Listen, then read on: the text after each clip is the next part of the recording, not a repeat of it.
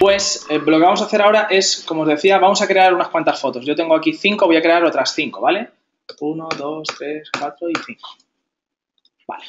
Y venga, voy a poner aquí a, escoger fotos. Eh, eh, copy image address. Vale. Hago como copyright, grabar. Eh, bueno, la verdad es que ahora que me, acuerdo,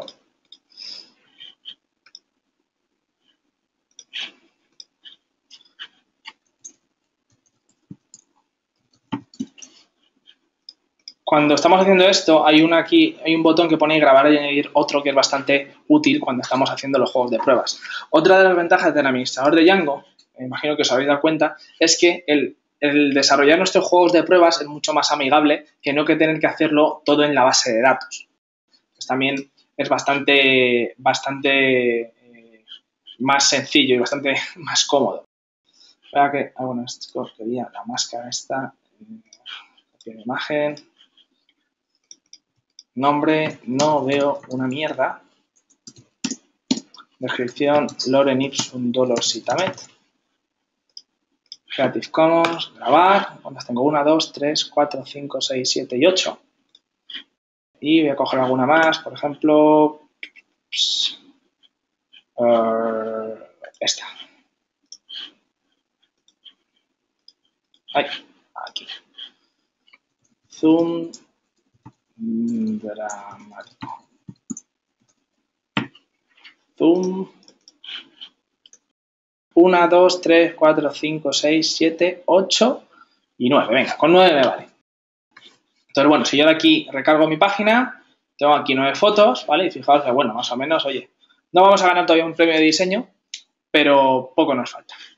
Fijaos, bueno, esto, bueno, ya va cogiendo forma, ¿no? Ya tiene, tiene un poquito más de gracia. Vale, fijaos, lo que pasa es que yo ahora mismo tengo 9 fotos. Imaginar que yo en lugar de 9 fotos tuviera 4 millones de fotos. O las que tenga Flickr pues tal vez esta página de últimas fotos publicadas eh, sería un poquito mm, lenta de cargar, ¿no? Sería muchísima información, seguramente hiciera que los navegadores explotaran. Cuando hacemos este tipo de cosas, nosotros lo que tenemos que hacer es filtrar los resultados, es decir, no podemos devolver todos los resultados de la base de datos como estamos haciendo. ¿Vale? Entonces tenemos que mostrar, pues, por ejemplo, yo tengo nueve registros, voy a mostrar las últimas cinco fotos, por ejemplo. Entonces, para para filtrar, mostrar las últimas cinco fotos, pues podemos hacer una cosa, que es coger aquí el array esta de fotos, ¿no? Aquí están todas las fotos, le puedo decir, pues dame las... Dame las cinco primeras fotos, ¿vale? Esto es desde el principio hasta la quinta foto. Dame las cinco, las cinco fotos que tengas. Si yo hago esto, en lugar de salirme todas estas fotos, Efectivamente me salen 5, ¿no? 1, 2, 3, 4, 5. Bien, ¿no? Aquí cuando le decimos dame todas las fotos y aquí se guardan todas las fotos. Es decir, que aquí me estaría trayendo los 5 millones de fotos a memoria. Y luego todo eso para quedarme solo con las 5 primeras. Bueno, pues aquí el razonamiento es lógico, o sea, es lógico y está bien. Pero no ocurre eso. No ocurre eso. Django aquí solo se está trayendo de la base de datos las cinco, eh, las cinco primeras fotos. ¿Por qué? Como os decía, me gusta, una de las cosas que me gusta de Django es que exprime al máximo el lenguaje de programación Python. Python eh, tiene métodos, ¿vale? Que son, los, eh, son métodos para definir cómo un objeto opera o hace las operaciones de este tipo, las operaciones de slicing. Entonces, realmente aquí lo que está haciendo Python, o sea, Django, es configura la query, aquí hace el select asterisco from photos. Y aquí lo que está haciendo con esto es configurar la query poniéndole el limit 0.5. Eh, y solo en el momento, y esto yo lo podría hacer de diferentes maneras, Digamos que yo podría aplicar aquí varios filtros a esta query y solo se ejecutaría en el último momento cuando es necesario hacer la query a la base de datos porque la variable va a ser utilizada. De hecho, eh,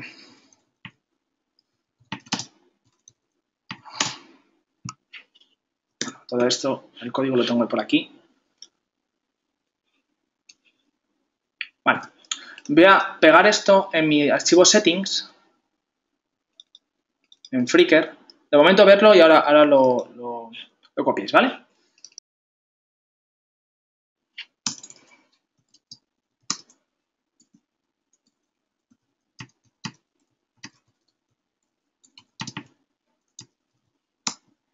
¿Vale? Con esto yo estoy configurando eh, Django para que si está en modo debug me haga un, eh, un debug, o sea, me saque todos los logs de todas las consultas SQL que hace, ¿vale? En cada petición. Entonces, yo me voy a abrir aquí mi, mi consola, mi run server, ¿vale? Lo voy a limpiar. No, no, no, imprimir no, aquí. Y me voy aquí a, a mi página, ¿vale? Si yo me voy aquí, fijaos que aquí tengo la query que ha lanzado. Select, fotos, foto ID, no sé qué, no sé cuánto, no sé cuánto, no sé cuánto, from photos limit 5. Tan solo ha hecho una query a la base de datos. Aunque visualmente mi código parezca que yo estoy trayéndome todos los objetos a la base de datos y luego solo cojo 5, Django realmente lo que está haciendo es, aquí hace una configuración de la query, pero no la lanza, la configura. Y luego con esto lo que hace es configura el límite, lanza la query y me devuelve los objetos. Digamos, esto lo que hace es una ejecución perezosa. Tú vas configurando la query y solo en el momento que vas a utilizar el valor de esa variable es cuando Django coge y lanza la query en la base de datos. Por tanto, esto es muy, muy, muy, muy óptimo. Aquí Django está haciendo que un tío, ¿os acordáis cuando decía que Instagram con tíos que no habían hecho backend soportaban un gran tráfico?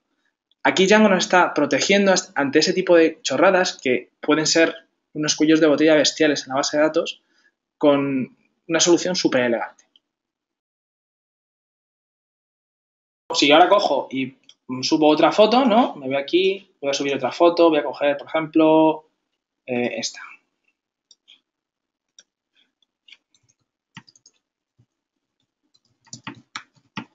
Doctor Schultz en su, en su caravana. No voy a poner descripción, copy left, bueno, copio esto. La grabo, recargo la página y no me sale la foto. Pero sin embargo, la foto es la última foto que he publicado, ¿no? Y yo estoy diciendo aquí, últimas fotos publicadas, pero no me están apareciendo las últimas. ¿Por qué? Porque por defecto lo que está haciendo el Django es coger la primera foto publicada, la primera. ¿vale? Y yo necesito invertir el orden. Es decir, te tengo que decir, dame como primera foto la última publicada. ¿No? Tengo que hacer el típico order by de SQL. ¿Cómo hacemos esto en Django? Bueno, pues aquí donde hacemos el photo.object.all puedo utilizar un método también, haciendo el chaining de métodos, que se llama order-by.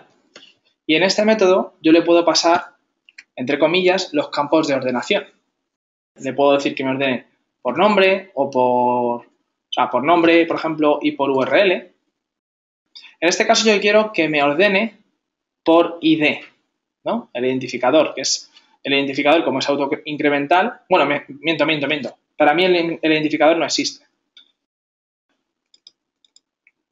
Yo en mi campo de modelo tengo un, campo que es el campo de creación, la fecha de creación, ¿no? Entonces le puedo decir, dame los, fotos ordenados por el campo created Pero yo lo quiero creados, o sea, en orden inverso, es decir, el último, el último publicado que sea el primero. Entonces, para decirle que sea inverso, lo que pongo es ponerle un menos delante. Y con eso le estoy diciendo que la ordenación sea descendiente. Fijaos, yo voy a borrar aquí esto, recargo y ahora sí me sale la primera foto, la última publicada. Y efectivamente aquí la select que ha lanzado tiene un order by photos created at desk limit 5. Bueno, pues esto ya, ya tiene la pinta. Además, fijaos, esto es, esto es responsive, ¿eh? Mira, mira, responsive.